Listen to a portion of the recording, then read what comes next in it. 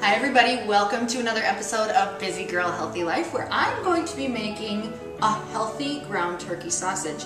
Now not everybody thought this was possible because when we hear those words we instantly relate it to guilt. But not this one because what we're going to do is we're going to use a really lean ground turkey. So today I'm actually going to be using um, Jennie-O 93.7 ground turkey. Um, I know that a lot of people like to use the Jennie-O or just another 99% fat-free turkey, but sometimes that can get a hair dry. So if you've ever cooked with it before, you know exactly what I'm talking about, the kind where you chew it and you chew it and it's just, it's not good. So what we're gonna do for that, if you are gonna use that, is you're gonna use two tablespoons of olive oil with that. So the first thing that you are going to need on this recipe is going to be garlic powder, Italian seasoning, fennel seed, crushed red pepper, paprika, ground red pepper, salt and pepper, and your turkey. So let's start cooking. To start our ground turkey sausage, um, you're gonna need some wooden spoons. So I really like to pride myself on my wooden spoons because I love them. And that every good cook needs a set of wooden spoons. So with that being said, the ground turkey sausage is going to be a base for a few other recipes that you're going to use throughout the week.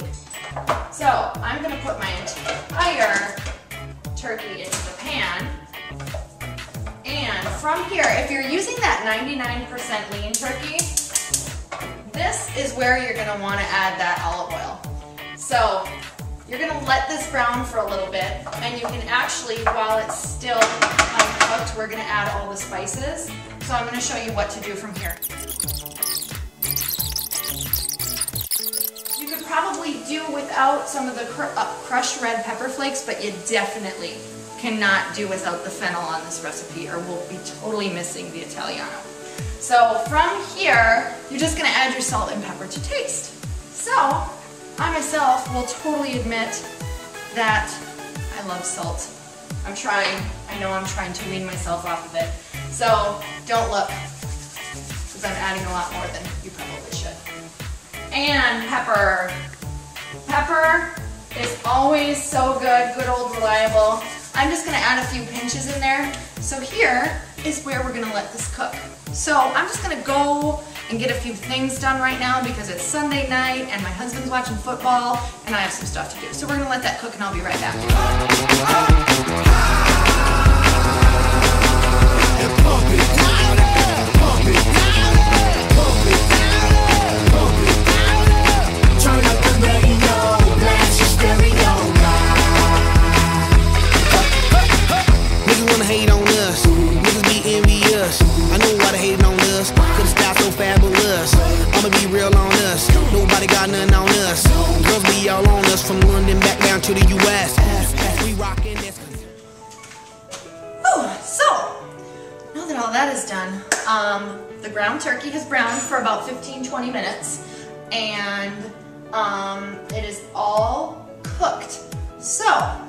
if you want to claim that you are a really good cook, even though this was so simple, you have to taste your food.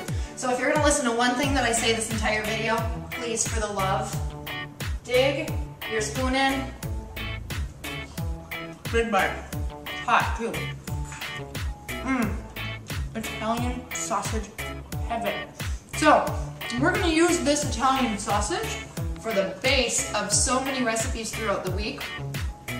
So stay tuned for more. We're gonna bring you tons of great recipes that I know that your family's gonna love. Bye.